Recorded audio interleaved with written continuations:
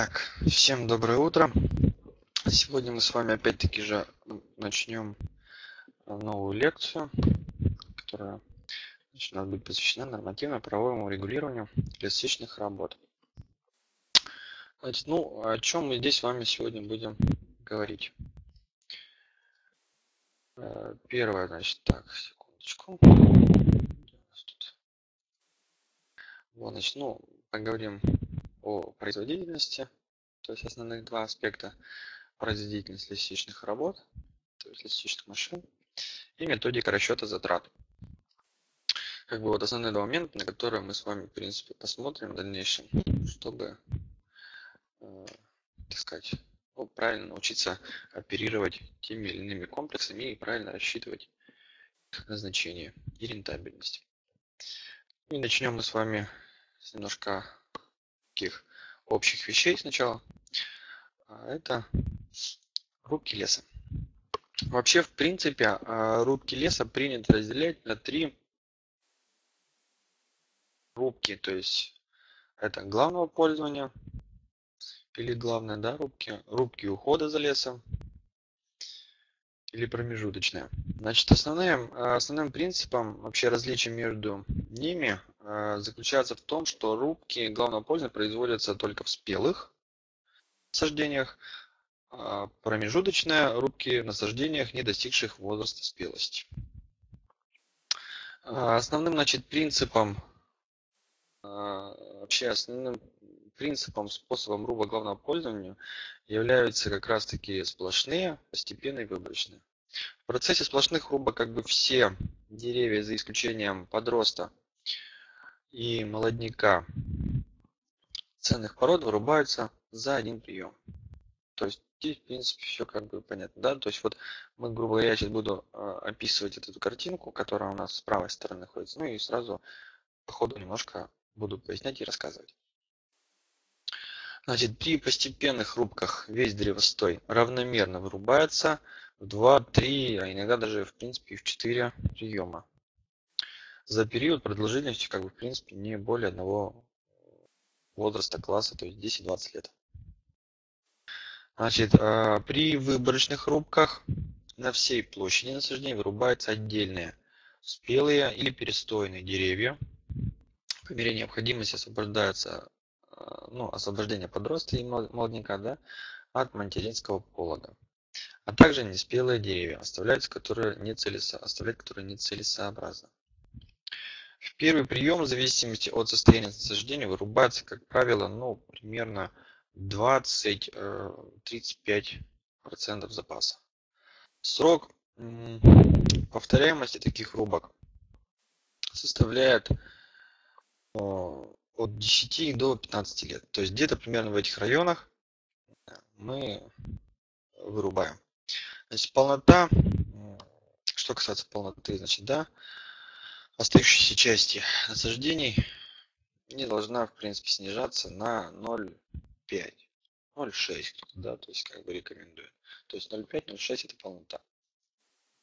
А что касается рубок ухода. Рубки ухода проводят э, для формирования высокопродуктивных насаждений. То есть, ну, это мы как бы уже знаем.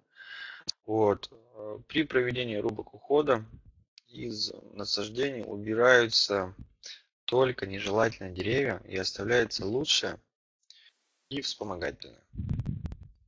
То есть только как бы одна категория у нас убирается, это нежелательные деревья.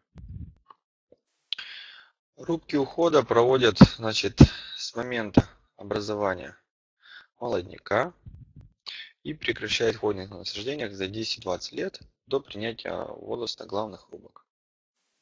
А в мягколиственных возраст немножко отличается, он составляет промежуток где-то 5-10 лет. Рубки ухода разделяются значит, на несколько рубок, а именно это у нас осветление, прочистки, прореживания и проходные. То есть, как бы вот мы с вами по второму столбику сейчас идем. Вот вы можете постепенно-постепенно просто наблюдать за этим. Значит, рубки осветления проводятся в хвойных и лиственных молодняках в возрасте до 10 лет. Прочистки проводятся в возрасте от 11 до 20 лет. прореживание проводится в хвойных или семенных, там, твердолистных, да, насаждениях в возрасте 21-40, мягколистных 21-30. Значит, э, проходные рубки проводят, в принципе, для получения увеличения прироста лучших деревьев. В хвойных и семенных, так сказать, твердолистных насаждениях проходные рубки проводятся в возрасте 41 года и более. Мягколиственных начиная с 31 и опять-таки же выше. Да? Рубки, значит, осветление, прочистки повторяются через каждые 2-5 э, лет. Прореживание через 5-10 лет. Проходные рубки 10-15. Значит, возможно, в принципе, ежегодный э, размер рубок ухода определять э, при лесоустройстве. Ну, то есть это обязательно. Мы с вами уже этот момент поднимали две лекции назад. Рубки ухода за лесом проводят на саждениях а, различной полноты и состава. Значит, вообще, что относится у нас к рубкам ухода за лесом, да? Какие виды рубок? То есть это санитарные рубки, которые проводятся для оздоровления насаждений, да? При этом как бы из этих насаждений убирают деревья сухостойные, ветровальные, буреломные, с механическими повреждениями, да, изогнутые снегом, там, не знаю, заселенный какими-то вторичными там вредителями, да, какими-то, то есть поврежденный какими-то грибковыми заболеваниями. То есть вот э, насаждения, которые, то есть уже нежелательны в данных лесах. Значит, э, комплексная рубка включает в себя одновременно 4 рубки главного пользования и рубки ухода. Да? Ее проводят на одной и той же площадке, в одно и то же время. Наглядным примером, в принципе, такой комплексной рубки может э, служить рубка двухъярусного древостоя. Из спелой там осины, допустим, или березы, верхний ярус, и молодой ели нижний ярус. Удаление как бы осины, да, то есть или березы, да, вот из первого яруса, достигших, так сказать, спелости, да, возраста спелости, означает по отношению к этим породам главную рубку, да, по отношению же к ели это рубки ухода. Выполнение функции, в принципе, рубок ухода проводят через осветление ели, да, то есть и ослабление корневой кон конкуренции. Значит, эти же факторы значит, обуславливают и возобновление ели, в принципе, в этом случае, да, являются, являющиеся, как бы, в принципе, задачей всякой главной рубки. Значит, э, вот в принципе э, комплексные рубки можно проводить в один или в два или в три приема. Значит, э, прототипом, как говорится, такого варианта являются проходные рубки. Значит, еще по-другому называют проходные рубки Кравчинского. Да? при которых лиственный ярус удаляется в три приема через 10 лет. Промежутки такие. То есть. Вот основные как бы вот такие моменты, которые мы с вами можем наблюдать. Значит, э, показателям вообще, принципе, да, то есть, ну, это было небольшое предисловие. Основные все-таки у нас вопросы это по производительности. Значит, машин а, значит, к показателям вообще эффективности частичных машин относится производительность. Да? То есть это один из самых главных показателей, по которым то есть, вообще смотрят эффективность лесозаготовок. Значит, а, в настоящее время значит, лесах вообще, в принципе, сейчас, наверное, везде, не только. То есть это а, не только где-то в лесистой да, местности, но и в принципе на всей территории Российской Федерации используется комплекс машин харвестер форвардер. То есть валочная сучкорезная раскряжевочная машина и форвардер. Да? Вот, а, как бы это основная сказать, концепция лесозаготовки, да, то есть в данном комплексе. Также существует, конечно, ряд других комплексов, валочно-пакетирующая, валочно-трелевочные, да, то есть машины. Ну, мы с вами рассмотрим сегодня, то есть эту спарку, Harvester Forwarder, и по которой, то есть дальнейшее будет вообще, в принципе, у нас проходить все акценты. То есть будем все акценты уделять только вот этой спарке. Значит, ну, в принципе, вот э, производительность. Из чего у нас вообще складывается производительность? Э, самый главный, то есть показатель, да, это у нас время цикла и объем продукции, да, объем хлыста, объем ассортимента, то есть, ну, в зависимости от этого.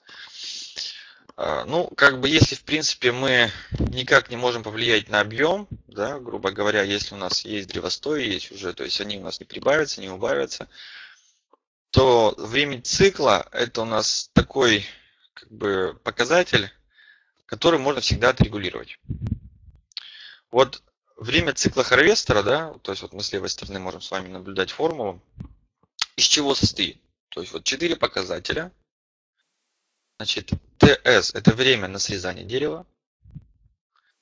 ТР время на очистку дерева от сучьев, да, и его раскряжевку. ТП это время на переезд харвестера, то есть от одного дерева к другому. Ну и время приведения технического оборудования в рабочее положение Т0. То есть вот четыре главных показателя, на которые мы, в принципе, можем как-то повлиять, то есть как-то учесть, что-то где-то ускорить, что-то где-то повысить производительность да, машин. И, значит, можем дальше спокойно работать. У форвардера, в принципе, принцип расчета производительности, да, а, точно такой же. А именно, то есть, что здесь может быть, вот как показано здесь, значит, коэффициент использования расчетный, расчетного объема пачки, да, обязательно учитываться объем требуемой пачки, то есть до какого уровня можно наложить, уложить ассортименты, да. Так, и время цикла триллерки ассортиментов. То есть вот основные три момента, которые то есть мы с вами рассматриваем. Ну и время цикла же, опять-таки, здесь у нас из двух показателей состоит, а именно время, значит, на передвижение форвардера за один рейс, да, то есть сколько он делает, сколько он тратит времени. Ну и время на сбор и штабелевку ассортиментов. То есть время движения, время штабелевки. Погрузки, то есть ну, сбора, погрузки, разгрузки, штабелевки ассортимента. То есть вот у нас а, основные как бы моменты. Ну и вот исходя из этого мы можем уже высчитать окончательно производительность нашей машины. Сколько она может нам дать за целую смену. И после проведения какого-то, допустим, хронометража мы можем с вами как бы выявить самые такие болезненные моменты нашей работы. Вообще, в принципе, общее время цикла, как правило, да, а, считается вот по формуле, где мы с вами можем видеть по серединке да, нашего слайда. То есть вот сменная производительность. Время смены обязательно, да? Плюс время перерыва и на производительность, расчетную производительность квадра. Время цикла в данном случае вот складывается как раз вот из нескольких моментов. То есть вот вы можете посмотреть, как бы у Harvester форвардера тут более все проще, то здесь время цикла как бы это среднее расстояние трелевки. Обязательно. Или среднее, да? Потом коэффициент, учитывающий время маневрирования форвардером. А, как правило, данный коэффициент а, составляет 1,2. Значит, в фи скорость движения машины. Значит, ТЦ маленькая, да, это время цикла одного захвата ассортимента грейфера и перенос его, и укладка коники, да, или в штабель сразу. Ну и средний объем ассортимента. То есть вот как бы основные такие моменты. А, МП, объем как бы триллион пачки забылся. Ну, я его ранее говорил, то есть уже мы это показатель коэффициент, то есть смотрели, высчитывали, то есть, ну, не высчитывали, а рассматривали уже данный, данный показатель. Значит, э, когда мы будем знать время цикла, мы можем почитать сменную производительность. Значит, вообще, в принципе, э, вот расчет показателя эффективности системы, да, э, как бы машины. Производительность, в принципе, как показывает эффективность, важна вообще, в принципе, при оценке качества организации да, и функционирования систем машин при различных схемах вообще разработки лесосек и видов рубок. Как бы вот исходя из этих показателей, вообще можно применить, то есть конкретному предприятию, то есть не перебирать каждый раз новую технологию лесозаготовки, да, новую технологию разработки лесосеки, а выходить уже на одну категорию разработок и вот по одной категории самое оптимально для данного предприятия, для данной лесосеки, для, данного, для данных насаждений применять одну и ту же технологию. То есть с учетом этого, то есть мы как раз и смотрим на какие вот э, самые эффективные то есть системы вообще форварда, то есть, да, которые могут быть. Значит, вообще время цикла обработки одного дерева хрестером определяется, как бы всегда определяется экспериментальным путем по методике, да, которая заключается значит, в проведении хронометража, затрат да, времени, на уборку подроста вокруг дерева, на подведение харвестерной головки к дереву, на захват дерева, на срезание дерева, да, там, то есть на снятие дерева с пня, да, раскряжевку, укладку верхушки на волок, движение харвестера от одного, одного технологического состояния к следующему, да, то есть очень большое количество показателей, которое может учитываться, то есть в а, хронометраже затрат. Экспериментально данные затрат вот как раз вот, а, были проведены нами, и вы их сейчас можете видеть на данном слайде. Вот экспериментальные данные показывают, что время обработки одного дерева составляет в среднем, да, то есть, ну вот диапазон выбрали, а, и составляет он от 70 до 100 секунд. При объеме хлыста где-то примерно около 0,3 кубических метров, да. Теоретические расчеты показывает, что при объеме хлыста 0,43, э, допустим, да, вот рассчитывали теоретическую часть, время обработки одного дерева составляет 71 секунду, 72 секунды. При объеме хлыста 0,1 кубометра время обработки составляет уже 61 секунду. То есть, как бы объем хлыста, да, вроде там 0,43, тут 0,1, разница всего в 10 секунд, в 11. Да? При объеме хлыста 0,35, да, допустим, вот были такие вот замеры сделаны. Время обработки одного дерева составляет 70 э, секунд, по-моему, что ли, 70, 70, нет, 70. Вот, а, значит, время цикла вообще, в принципе, уменьшается из-за меньшего количества распилов. То есть вот при объеме, да, 0,1, из-за чего сократилось, да, вот 0,43 и 0,1. То есть а, разный объем, разная длина, значит, а, данных ассортиментов. И вот уменьшили время цикла, то есть за счет уменьшения количества распилок, да, мы уменьшили время на обработку, время цикла, то есть на обработку одного из дерева.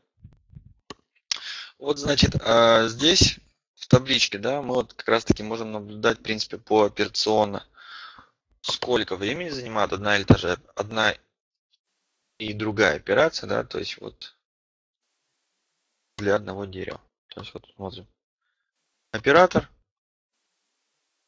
подъезжает то есть к определенному какому-то месту уже, да, по волоку, производит поиск деревьев. В среднем все показатели только в среднем, э, в среднем количестве указаны, значит, в среднем 3 секунды. Подведение хрестной головки, да, ну тут много факторов еще может посторонних влиять, да, то есть как-то может надо чуть вперед подъехать, как-то может чуть назад отъехать, да, может как-то машину повернуть, чтобы проще было дотянуться до дерева. И поэтому как бы такие показатели идут уже с интервалами, как правило, всегда. То есть это от 3 до 6 секунд, в зависимости от того, на каком вообще расстоянии может быть э, данная машина, о, данное дерево стоять, да, то есть может оно у самой машины, может оно быть на вытянутой стреле. И то есть вот эти все факторы складываются, проводится хронометраж и выводится средние показатели, уже расчетные показатели, да, по эффективности вообще системы. Естественно, как бы, в принципе, зависит не только от машины, но и от самого э, оператора, который непосредственно оперирует то есть, на данном комплексе. Тоже немало, немаловажный фактор, то есть человеческий, который нужно всегда учитывать. И подбирать, естественно, как-то проводить и находить компромисс. Ну, значит, вот э, в качестве вообще, в принципе, примера, да, вот могу сказать, что представлено как бы, определение вообще показателей производительности при проведении сплошных рубок. Рубок ухода. А, комплексной рубки, да. Системой машин, Harvester, Forwarder. Вот таблица 2 как раз показаны значит, величины объема хлыста для трех видов рубок, да, которые в дальнейшем будут использоваться у нас для расчетов. То есть вот мы здесь с вами можем как раз таки посмотреть на эти данные на нашей табличке. А, значит, для комплексной рубки объем хлыста определяется. Посмотрим, как, да? Видим табличку. То есть, где V1X это объем хлыста при сплошной рубке. VX2 объем хлыста при рубках ухода. X1 это процентное соотношение сплошной рубки, то есть рубки главного использования комплексной. X2 это процентное соотношение рубок ухода в комплексной. Да? То есть вот как бы такие моменты. Значит, а, объем хлыста для комплексной рубки определяется как бы по формуле и равен примерно 0,35. Да? То есть при этом как бы часовая производительность харвестера при сплошных рубках равна 17,3. Смена производительности уже 119 кубов. Для определения, в принципе, производительности форвардера при сплошно-лесочечных рубках да, необходимо определять время цикла трелевки сантиметров которое у нас равно вот 4300 как бы 394. Часовая производительность форвардера равна 15 кубам. Сменная производительность уже достигает 105. То есть как бы вот такие вроде неприметные расчеты, да, но дают все да, разные производительности. Расчет времени цикла и часовой производительности вообще, в принципе, харвестера и форвардера для двух групп видов рубок проводится аналогично. То есть аналогичным способом, который у нас указан в табличке. Да, то есть вот мы видим время цикла харвестера, время цикла форвардера, часовая производительность и часовая производительность другой машины. То есть вот как бы мы с вами это и наблюдаем. Значит, вот, ну, что здесь, в принципе, еще можно добавить, э, как бы, по данной табличке. То есть все эти цифры, э, тем не менее, э, значит, добыты экспериментальным путем, после которого был проведен небольшой расчет. Вообще, как бы, главная идея, да, вот, методики расчета определение затрат на эксплуатацию да, там машин, их выражение их параметров времени и производительности. Вообще э, вот целью является получение вообще достоверных показателей в год, час или на куб? То есть как бы много всяких вариаций, различных вариаций. Таким образом можно как бы определить э, величину расхода да, на выполнение машинной операции в различных ситуациях и рассчитать уровень использования вообще листичных машин да, в соответствии, а, и соответствующих как бы, затрат, а, при которых работала ну, при которых бы шла работа, да, и была хорошая рентабельность.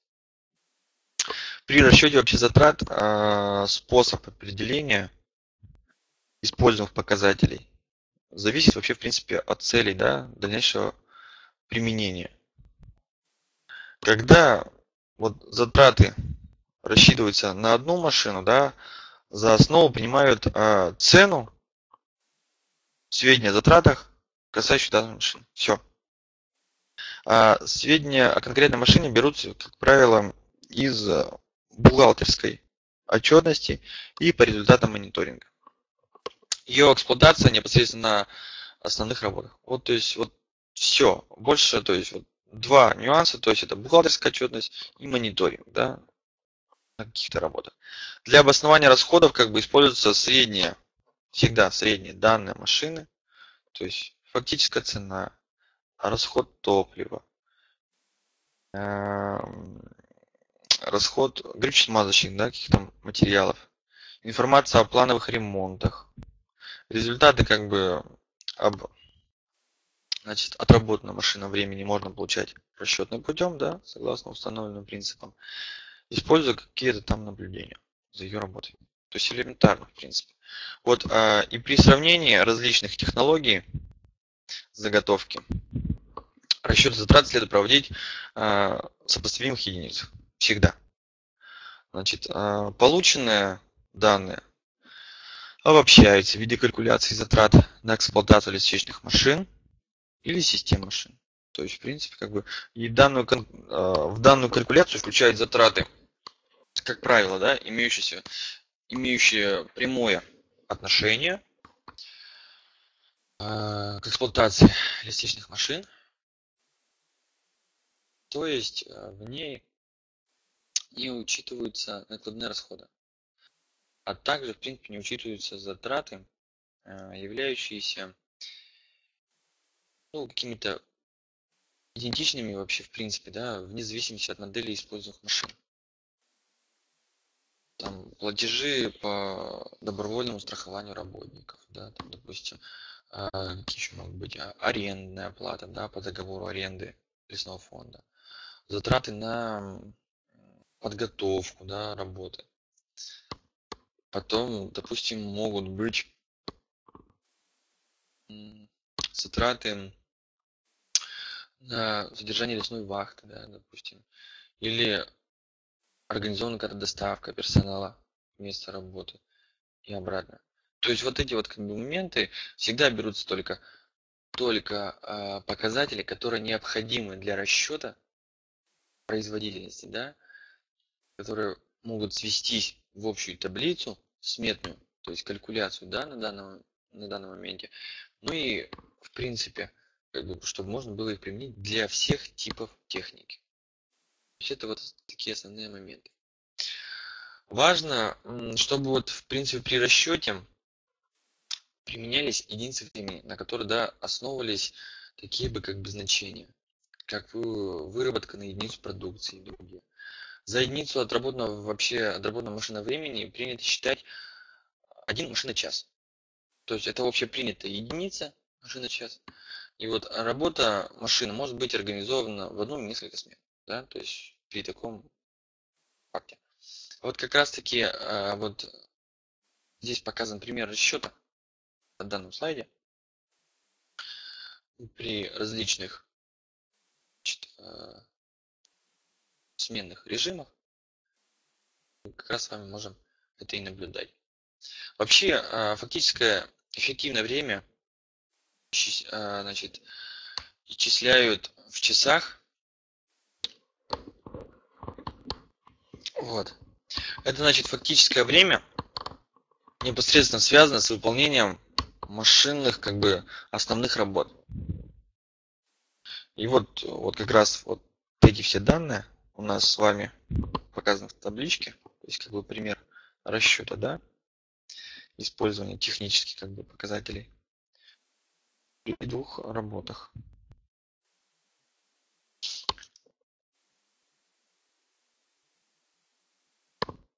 Так, что-то у нас тут повисло все. Повисло что-то.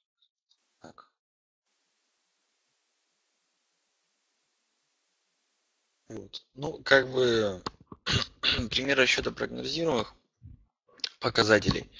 Здесь как бы прогнозируемый вообще фонд эффективного рабочего времени исчисляется в часах, да? Это вообще, в принципе, планируемое время непосредственно как бы связано с а, выполнением машины или основных работ. Как раз пример расчета вот здесь тоже предоставлен, да, то есть мы с вами можем видеть эффективное применение, как говорится, при двух и трехсменных режимах работы. Наиболее вообще эффективным является круглосуточный режим работы. И машины с экипажем из операторов, из четырех операторов, а, которые вообще, в принципе, получили широкое распространение среди предприятий вообще, в принципе, в целом Российской Федерации. Они как бы осуществляют заготовку по ассортименту технологии. Вот и все. То есть машина максимально загружена, максимально работает. То есть и получается максимальный эффект. При этом как бы вообще в принципе режиме рекомендуются следующие как бы последовательности вообще а, шагов по расчету оперативного времени, да, работы машин. Вот всего, допустим, берем в среднем 365 рабочих дней. Вот 365. Из них как бы получается у нас 115, ну, в среднем, да, то есть год от года не приходится, поэтому как берем усредненные показатели, сразу говорю, выходные праздничные дни, да, 115 дней. А, годовой фон как бы рабочего времени машин, да, в односменном режиме в днях 250. А, годовой фонд рабочего времени машины в круглосуточном режиме в часах 6 тысяч. Годовой режим, годовой фонд как бы э, рабочего времени четырех операторов машины без учета отпусков, да, то есть это 250 рабочих дней, умножаем на 8 часов, минус 7 часов и умножаем на четырех операторов, да, получается 7900 уже, да. Как бы вот здесь уже вот сразу видно, то есть э, как идет развязка и какую, э, в принципе, вы получите производительность и эффективность данных машин. И поскольку как бы на каждой машине работает стабильный состав операторов, э, вот мысль потерял. То есть вот мы как бы с вами рассчитали усредненный да, показатель 7000, 7900, да. А если у нас уже состав а, как бы операторов а, устабилизировался, то годовой фонд рабочего времени следует вообще, в принципе, скорректировать на время их пребывания в отпусках. То есть, ну, вообще, в принципе, это необходимо. То есть мы с вами просто посчитали, а, грубо говоря, за целый год, да, без всяких отпусков. Но все-таки Трудовой кодекс Российской Федерации, да, наш предусматривает, что предоставить работнику ежегодный, как бы, оплачиваемый отпуск продолжительностью 28 календарных дней. То есть, в принципе, это все знают всегда, то есть, и могут, и должны это соблюдать. А статья Трудового кодекса, если мне память не изменяет, то есть, да, по данному вопросу, это статья 115 Трудового кодекса. Кроме того, отдельно как бы категории работников имеют право на дополнительный отпуск. То есть 7900 часов у вас комплекс будет очень мало работать. То есть, ну, в принципе, это только, как вам правильно сказать, это только часы, которые могут быть только в теории. На самом деле, то есть, вот, грубо говоря, 28 календарных дней, пожалуйста, вам один отпуск, да. Есть категории работников, которые имеют дополнительный отпуск, как бы, да, в соответствии с 116. Вот. Дополнительный отпуск э, за работу там в местностях приравнен там, к крайнему северу, допустим, да, где заготовка идет. Он составляет еще 16 часов. То есть, как бы вот, о, 16 календарных дней. А, поэтому, как бы, вот это необходимо все учитывать и соблюдать. Вот, необходимо также предусмотреть другие, как бы, какие-то, да, дни там не, вых не выхода на работу. Ну, бывает масса причин, как бы масса экстренных ситуаций. В принципе, даже не экстренных, это жизненная ситуация, это, допустим, болезнь, да? Или э, ну, если молодой какой-то оператор, то есть необходимо какое-то повышение, повышение квалификации, пожалуйста. Или, допустим, там учебный отпуск. Вот как бы из сложившейся практики этого времени можно оценить вообще, в принципе, на 16 рабочих дней на одного работника в год. Вот. И при общей продолжительности отпуска, да, в другие и других невыходов на работу, эта величина 60 календарных дней, которая, вот, данная величина снижает вообще фонд рабочего времени операторов машин. И получается 60 рабочих дней, то есть мы умножаем на 8, умножаем на 4, это 1920, да? 1900, да, 1920. То есть вот годовой фонд рабочего времени операторов уже будет составлять не 7000 часов, да, как мы с вами в принципе изначально планировали, да, что там 7972 часа. А вот из той суммы, да, ну, округлим 8000, да, там эти часики маленькие. И здесь 1900. В итоге у нас уже получается 6000, да? 6000 часов. Вот и таким образом, как бы, а, вот вот пример вам, да, годового фонда рабочего времени машины. А, как бы соответствует вот суммарному эффективному годовому фонду операторов.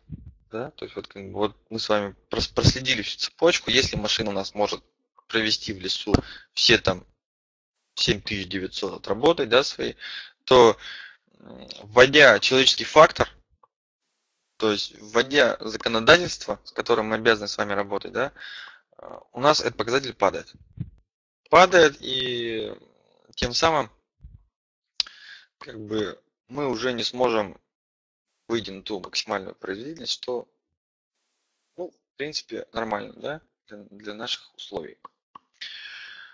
Вот, в принципе, вот перерывы, задержки, включают в себя какие-то регламентируемые и нерегламентируемые, да, простой то есть это опять-таки же у нас идет вот все на ту общую, то есть как бы на общий фонд рабочего времени тоже влияет.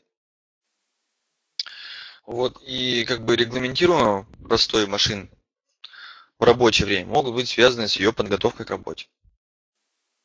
То есть это мы можем учесть, да, там техническим каким-то обслуживанием, ремонтом, да, то есть если у нас, грубо говоря, машина отработала, 3000 моточасов, мы обязаны провести те или, те, те или иные работы. Если отработала она 8000 моточасов, то мы должны провести те работы, да, уже технические работы.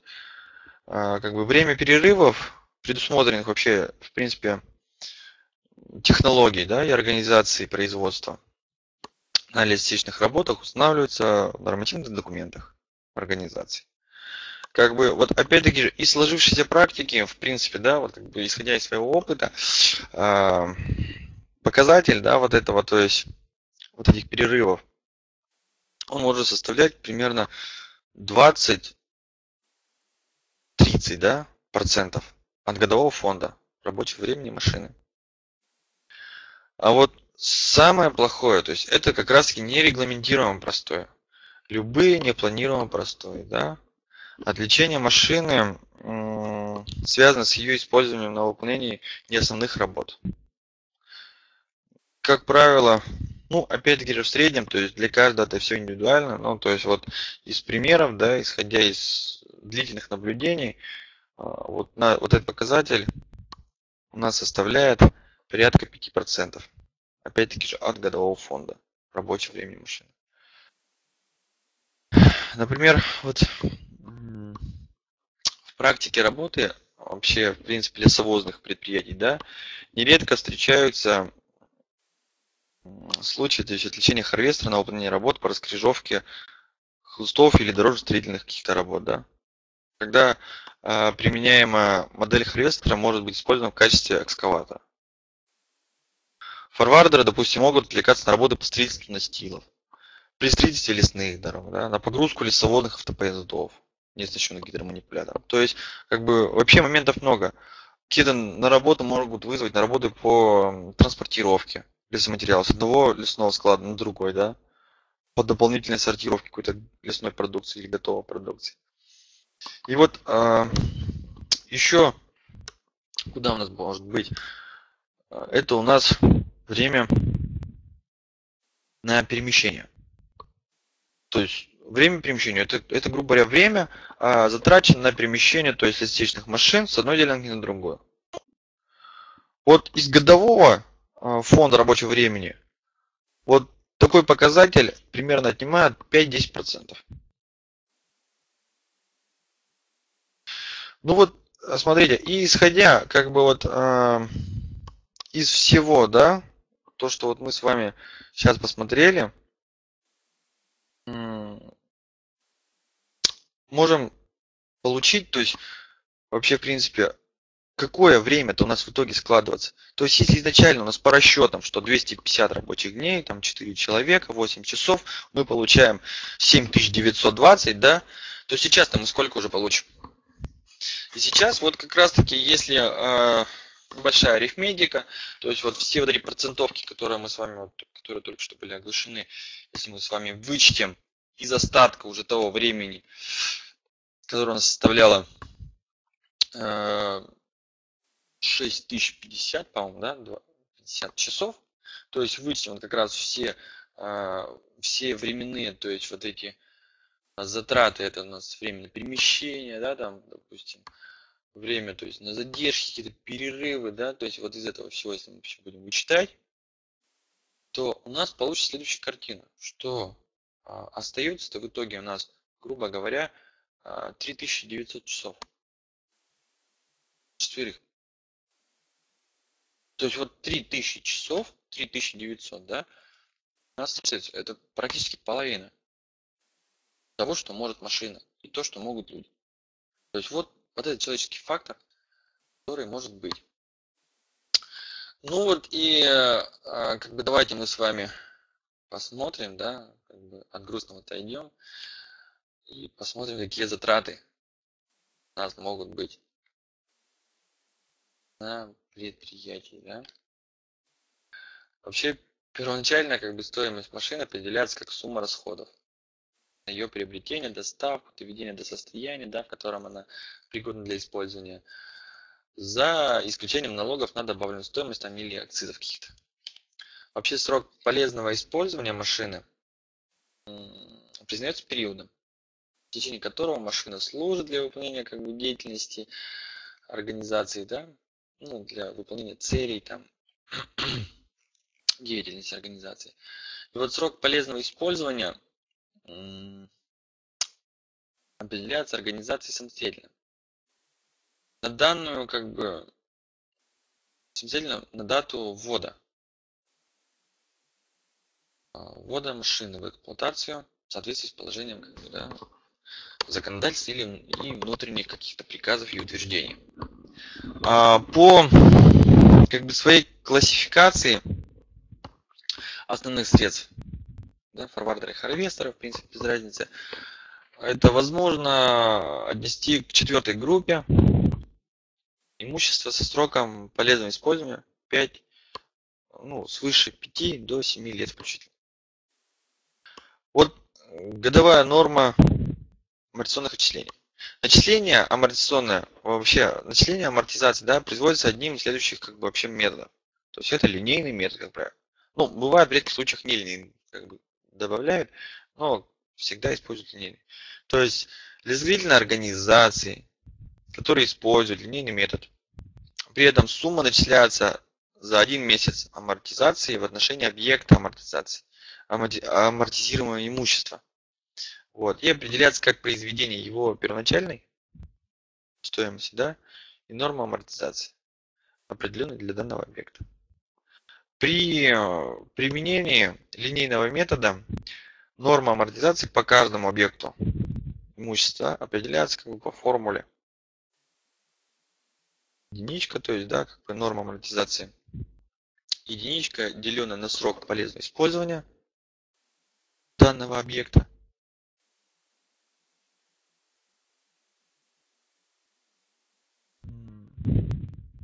Сейчас единичка деленное на n, то есть срок использования. Сроки использования. Причем сроки использования Да, единичка делена на n, то есть на срок использования, который выражен в месяцах, да, то есть не в годах, а именно по месяцам, потому что амортизация у нас будет начисляться каждый месяц, и умножен на 100%. Вот.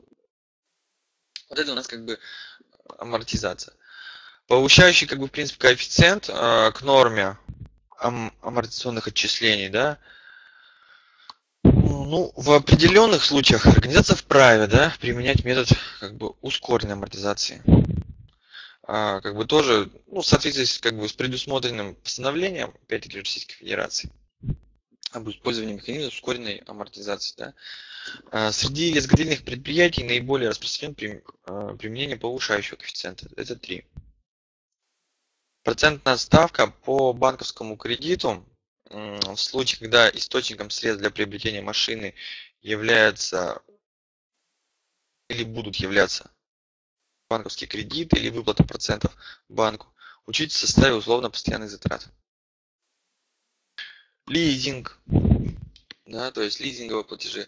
Под лизинговыми платежами, как вы понимаете, общая, в принципе, сумма платежей по договору лизинга по договору лизинга за весь срок действия этого договора, который входит в возмещение затрат как бы лизинговых, лизингодателя, да, то есть связанных с приобретениями, передачей предмета лизинга, возмещение затрат, связанных как бы с оказанием каких-то других предусмотренных договора услуг, а также вообще, в принципе, доход.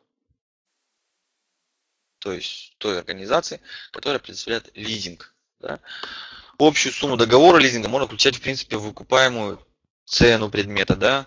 Если договором лизинга предусмотрено переход права собственности на предмет лизинга, конечно. Вот. И как бы все стороны э, договора лизинга, да, имеют право по взаимному соглашению применять ускоренную амортизацию предмета. Ускоренная амортизация предмета лизинга широко применяется, в принципе, в лесозаготовительных, ну, в лесозаготовительной промышленности России вообще. И как бы используется коэффициент ускоренной амортизации тоже равный 3. Что тут еще может быть? Аренда. Да, то есть по договору аренды, допустим, арендодатель представляет аренду имущества за плату да, во временное владение или пользование, да, временное пользование. Платежи арендной платы как бы э, учитываются э, в составе условно постоянных затрат. В случае, когда, в принципе, лесные машины используются на условиях договора аренды. Страховка. Лесные машины обычно, да, то есть страхуются на случай пожара, там, аварий, там, ответственности как бы, за возможный ущерб, в принципе годовая сумма как бы страхования рассчитываться согласно действующим страховым тарифам. Страхование лесной машины, как правило, является обязательным в случае их приобретения на условиях договора кросслизинга или банковских кредитов каких-то. То есть это обязательное условие. Вот. А прочие расходы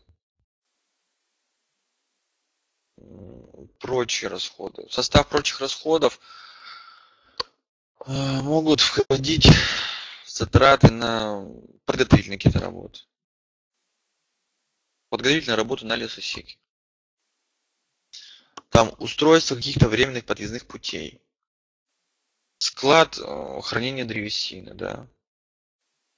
Спецодежда. Налог на имущество, транспортный налог, да, там доставка персонала от места жительства до места работы. То есть как бы много. И вот это прочие затраты. То есть да, содержание лесной вахты. То есть это вот все идет э, затраты постоянные, от которых никогда мы не сможем как бы избавиться. Да? Вот переменные же затраты.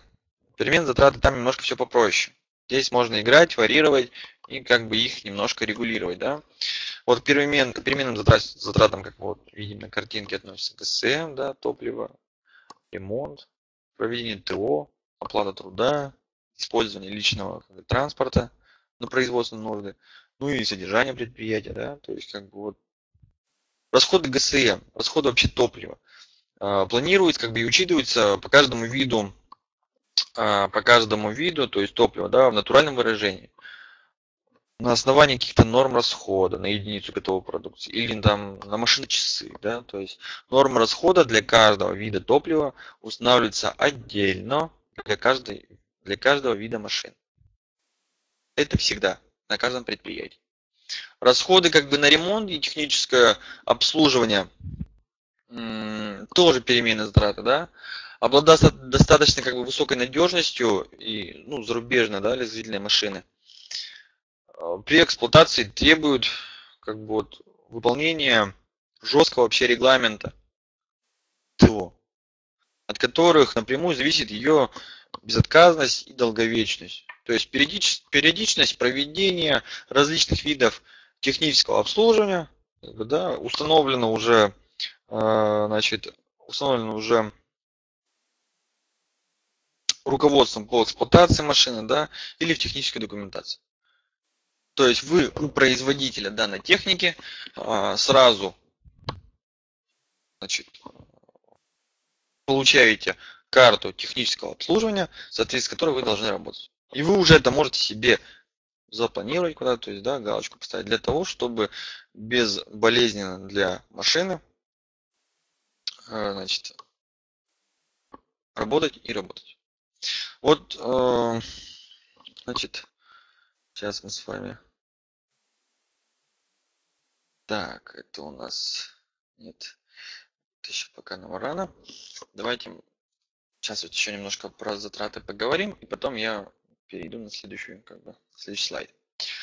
Вот смотрите, пример вообще затрат на технический ремонт, да, стоимость затрат э, зависит от ее наработки. То есть это технические, э, как это, техническое обслуживание, вот. Э, техническое обслуживание зависит как бы от ее наработки, то есть от наработки техники. Значит, э, вот, допустим, берем диапазон по моточасам. То есть 0, там, да, допустим, 2000 моточасов, да. И вот примерно в процентных, если а, если брать проценты, сейчас секундочку, если брать, значит, в процентах расход, да, от цены новой лесозаготовительной машины, то вот, допустим, если отработал до 2000 моточасов, то в процентах это получается 4,6, да, грубо говоря, 5,7 харвестер, да, форвардер 4,6, харвестер 5,7. Это стоимость. А, вот грубо говоря, 2000, 10 тысяч, это уже 25-35 процентов, да, или 30-40. А вот если уже 20 тысяч вот часов, то это уже 80-100, 100-130. То есть, да, то есть там уже техника отработала все, что могла. И здесь уже приходится укладываться по максимуму.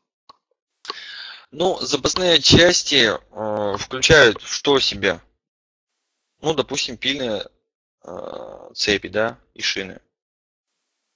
Потому что, вот, допустим, срок службы цепи э, в среднем составляет 250-300 кубометров. Цепь. Средний срок службы пильной шины 2500 3000 кубометров. Шина.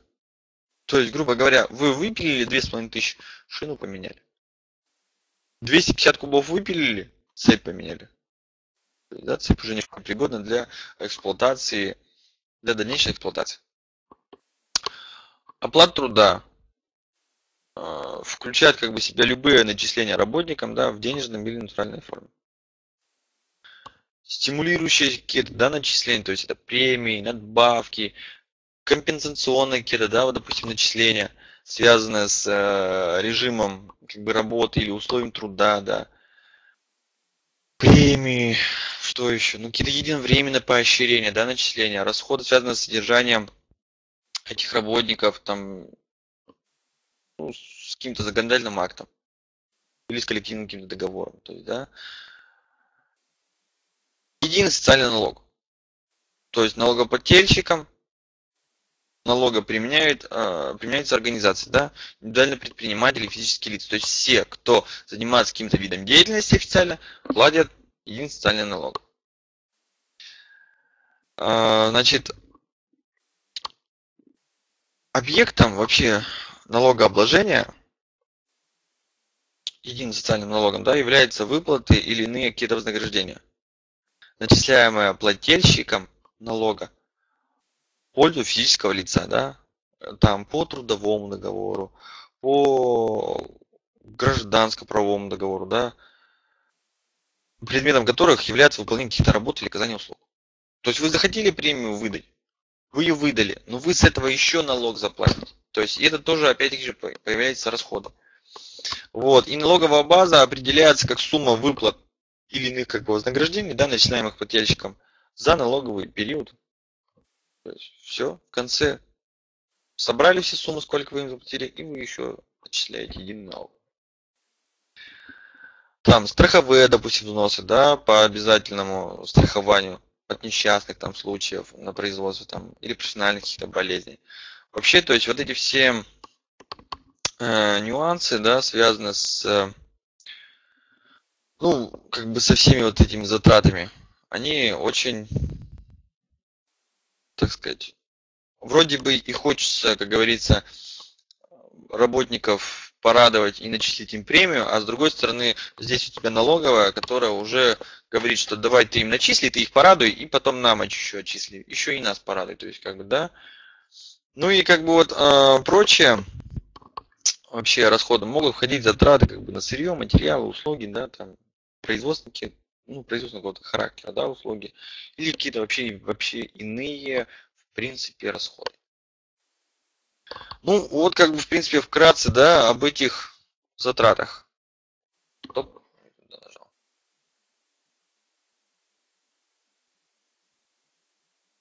Ну вот, годовые затраты, да, получают суммируя как бы все расходы в течение года.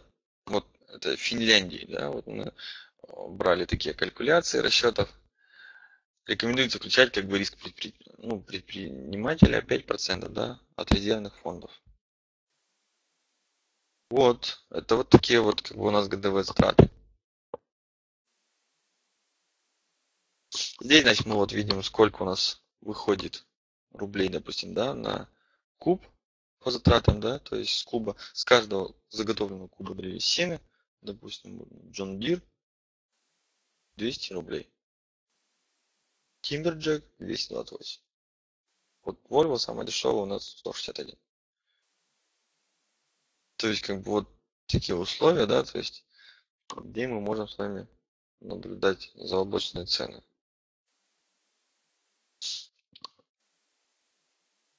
Ну, вот, в принципе, что-то так. То есть, вот, то есть, как бы здесь уже более детально проведены годовые затраты, то есть, да, пример расчета, да, фактических затрат для различных моделей харвестеров. Э, вот здесь в продолжении, да, амортизация, сколько начисляется. То есть, как бы, ну, то, что мы с вами проговорили до этого, да, переменные все затраты.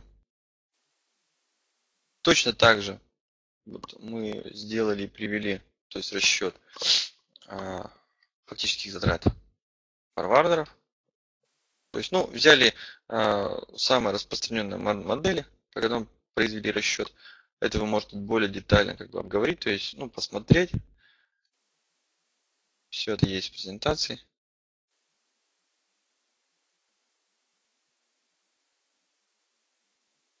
Ну и вот, э, значит, контрольные вопросы, то есть, что, в принципе,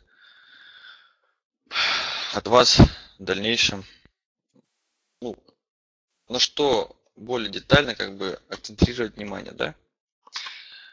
Вот, а если есть вопросы, пишите, задавайте. У меня все на сегодня. Всего доброго.